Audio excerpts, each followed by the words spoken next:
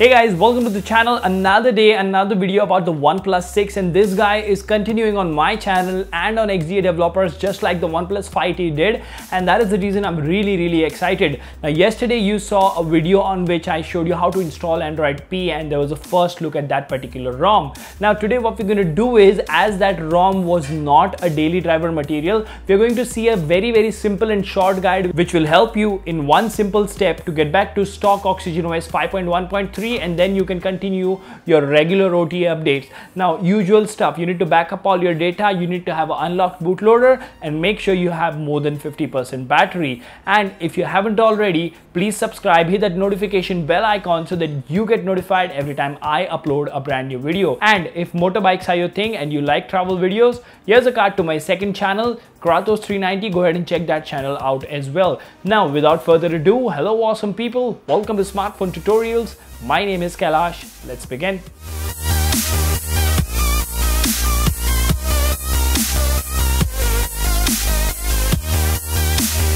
Hey guys, welcome back. So this is going to be a very, very short follow-up video for the OnePlus 6. Now, as you know, yesterday I made a video on which I showed you how to install Android P developer preview on the OnePlus 6. Now, of course, there has to be a way to go back to Android 8.1 Oreo and that Oxygen OS stable ROM which gives you all the goodies and all the features.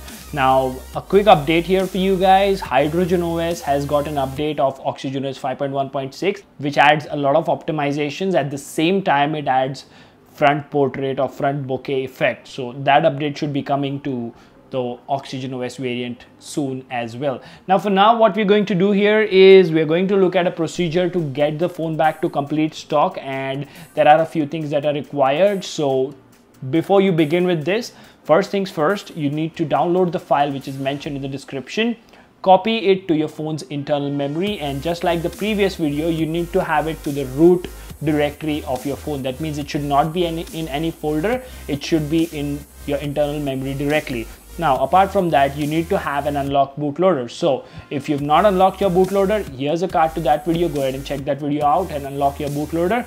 At the same time, you need to have at least 50% battery and make sure all your data is backed up because the data would be lost in this particular process. And even if it is not, well, it's always a good practice to go ahead and back up your data, right?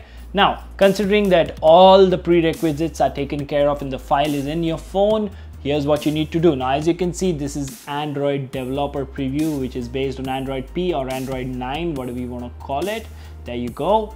Now next up we need to go to system. Then we need to go to advanced and system update. And then this gear icon here just tap on it. And then select local upgrade. Now this is the file here Ox OnePlus 6 Oxygen 22 OTA 07 it would have MR1 at the end. So let's tap that and let's select confirm. Now this update installation process will take at least 5 minutes. So please be patient while the update is being installed. But for us it happens in 3 2 1 go Alright, so as you can see, the process is now complete and it is asking us to reboot. Now, what we're doing here basically is we are following the instructions directly from OnePlus and as this is a downgrade, what my logic or experience says is that we might have to go ahead and wipe everything off. But for now, what we're going to do is we're just going to do a reboot here and see if everything goes as planned or not. If it doesn't, what we'll have to do is we will manually boot into recovery and wipe everything and then we should be back to Android 8.1 Oxygen OS 5.1.3 so let's go ahead and hit that reboot switch here we go so let's see if the ROM actually boots up properly or not it will be interesting to see that now as you can see as this is a rollback zip OnePlus have made this zip in such a way that it will wipe everything. So you don't need to manually go to the recovery and do it. So that is a very, very good thing. It's a very, very easy process to get back to stock channel or to the stable channel of updates.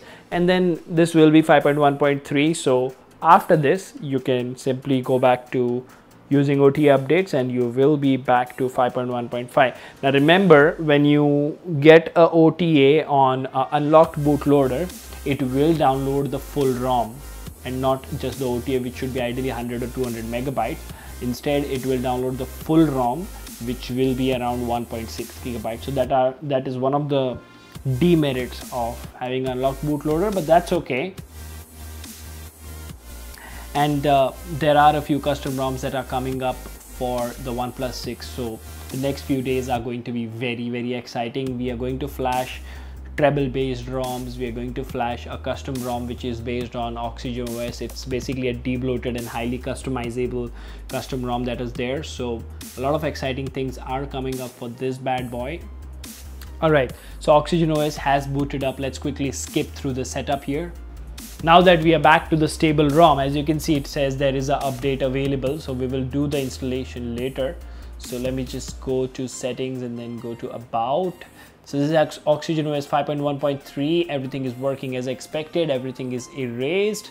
So there you have it guys. That was the easiest way to get back to a stable ROM after installing Android P. Now, one small announcement that I have here is there is a unbrick tool available for the OnePlus 6. So just like you guys loved it on the OnePlus 5T, I'm going to make a step-by-step -step guide to easily unbrick your OnePlus 6 in case anything goes wrong. But for now, this was the video guys. If you liked it, give this video a thumbs up, share it with your friends and subscribe and leave a comment below of how did you feel about the Android P experience and getting back to stock and is there anything new that you would like to see on this particular channel. For now, this is Kailash signing off at Smartphone Tutorials. Thank you for your time guys. Have a great evening and take care. Goodbye.